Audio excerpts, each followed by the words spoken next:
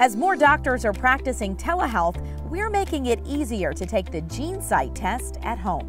While a doctor, psychiatrist, or nurse practitioner must still order the test, the GeneSight Patient Collection Kit allows patients to collect their DNA sample in the comfort of their home.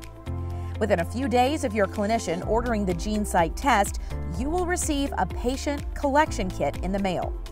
The kit contains clear, easy instructions that detail the three easy steps for you to follow. First, fill out the forms included on the left side of the packet. Second, fill out your name and other information on the front of the green DNA samples envelope. Open the envelope, then take the enclosed cotton swabs and swab the inside of both your cheeks to collect your DNA samples. Drop these swabs into the completed envelope. Third, put the completed paperwork and sample envelope into the prepaid return shipping envelope.